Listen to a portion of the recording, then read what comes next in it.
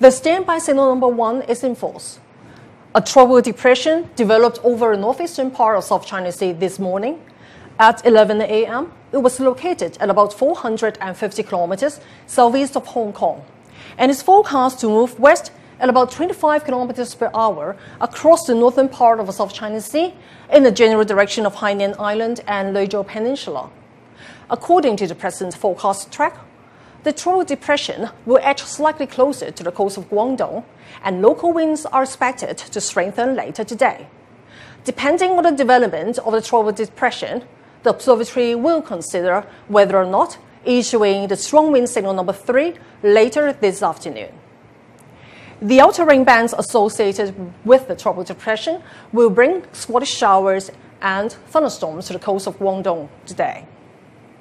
As for the detailed weather forecast for this afternoon and tonight, mainly cloudy with occasional spotty showers and a few thunderstorms, moderate to fresh east to northeasterly winds, occasionally strong offshore and on high ground. There will be swells, so members of the public should stay away from shoreline and not to engage in water sports. As for the weather outlook, the weather will be unsettled with occasional spotty showers and swells in the next few days. Showers will be heavy midweek this week.